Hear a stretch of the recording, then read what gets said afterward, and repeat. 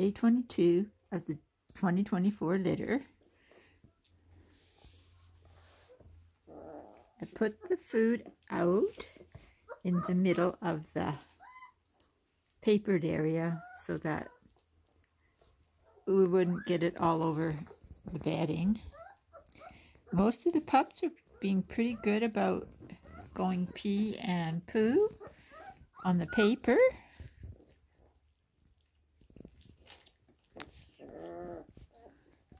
Oh, but it's such a tough life, right? The competition.